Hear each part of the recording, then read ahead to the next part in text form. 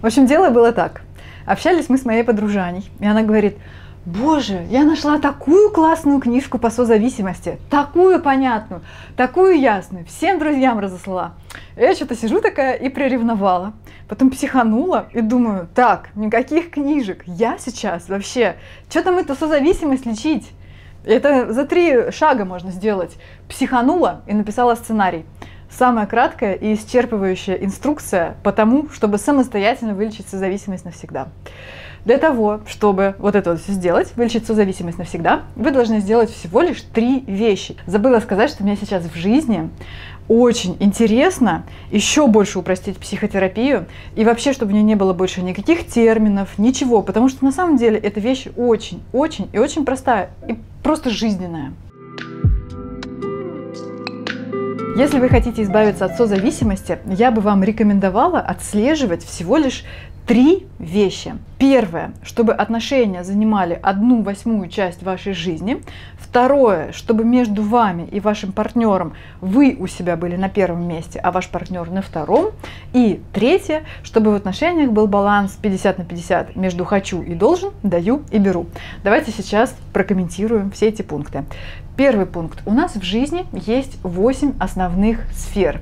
Это семья, здоровье, работа, друзья, отдых, духовность, саморазвитие и хобби.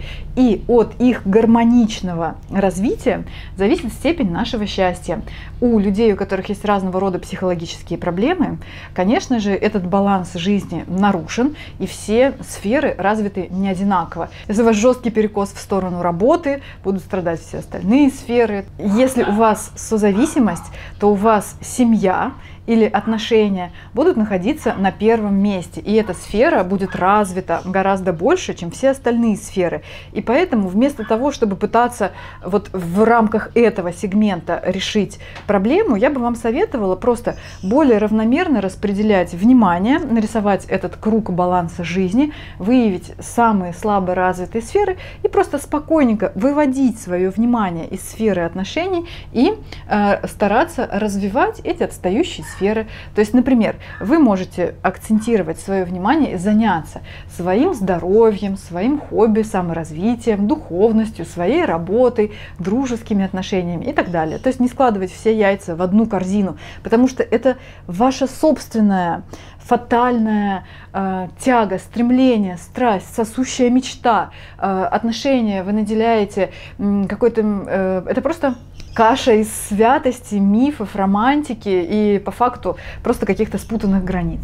Желаю вам вывести свое внимание из этой сферы в другие, для того, чтобы ваша жизнь была гармонично развита. Второй пункт – это что вы должны быть у себя на первом месте, а другой человек на втором. Это тоже очень тяжело вам будет исправить, потому что у вас есть постоянная склонность фокусироваться на нуждах, проблемах, потребностях, задачах этого человека. И вы очень часто забываете про себя, вы забиваете на себя, вам трудно просить об удовлетворении своих потребностей, вы не умеете критиковать, вам неудобно критиковать, у вас есть страх утраты любви, что если вы будете делать так, как вы сами хотите, или если о вас будут заботиться, то этот человек не захочет этого делать, либо же он вас бросит. Но первым шагом для этого это будет поставить себя на первое место и хотя бы самому начинать заботиться об удовлетворении своих потребностей. То есть просто каждый раз, когда вы принимаете какое-то решение, любое, даже повседневное,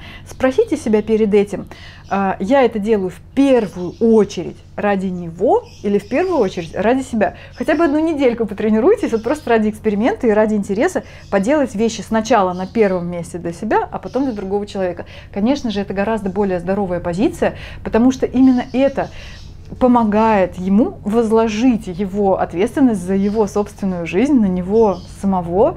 И только благодаря этому все его проблемы решатся или то, что вас в его поведении не устраивает. И третий пункт – это баланс между «хочу» и «должен», и между «даю» и беру. Из-за того, что у вас, собственно говоря, созависимость, вы даете этому человеку гораздо больше, чем получаете в ответ. Поэтому тут надо просто меньше давать. Давать – это не пихать, не душить своей душной любовью, это не давать то, что вам кажется э, правильно, э, то есть давать не то, что вы думаете, а давать именно то, что он сам у вас попросит, и после того, как он у вас это попросит, и следить, опять же, за тем, чтобы в этих ваших отношениях не нарушался баланс между «хочу» и «должен», чтобы вы делали не только то, что вы должны, да, из своих святых представлений об отношениях и любви. Я должен спасать, поддерживать, помогать, заботиться. Я должна быть сексуальной партнершей, великолепной хозяйкой. Я должна быть очень красивой женщиной. Не надо делать только то, что ты должна. Тем более по твоему собственному ущербному мнению. О, господи, извините, пожалуйста, ребят, что я вас так оскорбляю. Я ничего плохого не имела в виду. Мне тоже в какой-то степени свойственны элементы созависимости. Из-за ваших предыдущих травм вы думаете, что вас будут любить условной любовью, только если вы будете делать то-то, то-то, то-то, то-то и то-то. Потом из окружающей среды, из социума этих представлений понабрались, не отфильтровали и побежали реализовывать, быть якобы идеальным партнером. Но, конечно же, это медвежья услуга. Видите, все гениальное просто. У этой памятки есть только один минус – она поможет только тем, кто уже осознал и заподозрил у себя созависимость. А именно это сделает сложнее всего. Поэтому отсылаю вас на свой канал на Vimeo, где у меня есть два видео по созависимости, в котором в первом я подробно рассказываю о том, что такое созависимость, а во втором, как от нее избавиться, если этого видео вам и не хватило.